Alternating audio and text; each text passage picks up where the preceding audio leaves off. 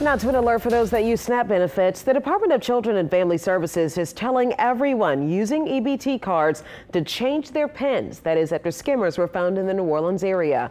The department says they're getting reports from dozens of victims daily. They're also urging you to add new security features to help protect your card from skimming. You can activate them by calling the number on your screen. We can also go to the Life In Check website. We have a link to it in our web story, WWLTV.com.